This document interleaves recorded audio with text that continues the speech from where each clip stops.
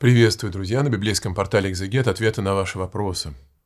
Неужели постоянная концентрация на своей греховности – это и есть основной принцип жизни верующего человека?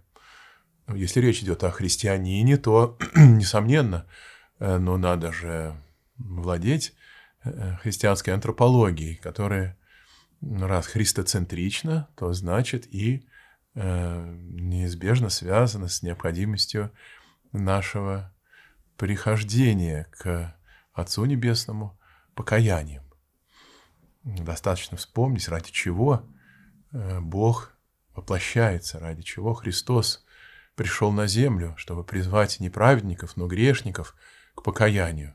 И таким образом э, стяжать э, дары прощения, дары Духа Святого, которыми уже и э, вечной и неразрывной связью оказываемся мы сочетанны самим Господом, что и есть жизнь вечная, жизнь блаженная, жизнь райская.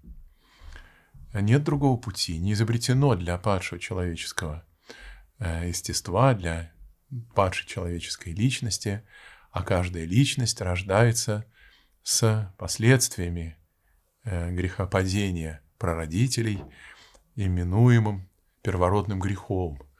И хоть в таинстве крещения даруется нам от него прощение, но его последствия, тем не менее мы изживаем э, весь остаток нашей земной жизни. Именно покаяние – это приличное состояние души, находящегося в изгнании. Кому земля – священный край изгнания, или, как говорит Гамлет – Шекспира «Дания – тюрьма», имеется в виду то, что человек в его смертной природе несет епитемию, а дело пребывающего под епитемией э, – покаяние по преимуществу.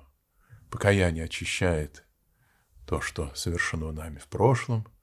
Покаяние делает нас достойным сегодняшнего мгновения, в которой мы находимся не только пред очами Господними, но и в теснейшем, э, теснейшей близости с Ним. Покаяние – это и то, что настраивает нас на добрую будущность, ибо теряющий дух покаяния неизбежно бывает одержим духом самодовольства, самонадеянности, гордыни, и тогда его труды оказываются не в созидание, а в разорение и своего спасения, и пользы ближних.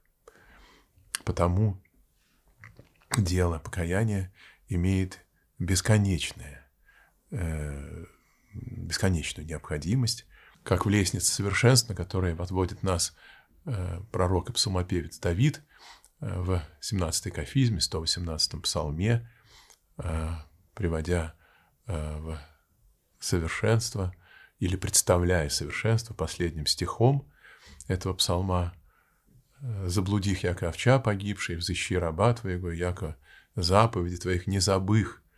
Где же, э, замечает Феофан Завотворник, спросите вы совершенство? В том и состоит совершенство, что и взойдя по всем ступеням добродетелей, сохранить смиренно мудрее.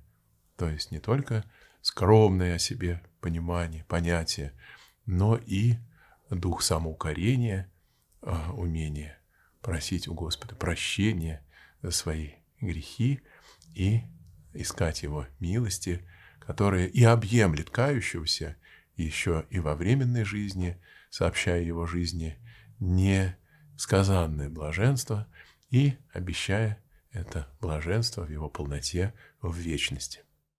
Внеси свой вклад, оцени, подпишись и поделись этим видео.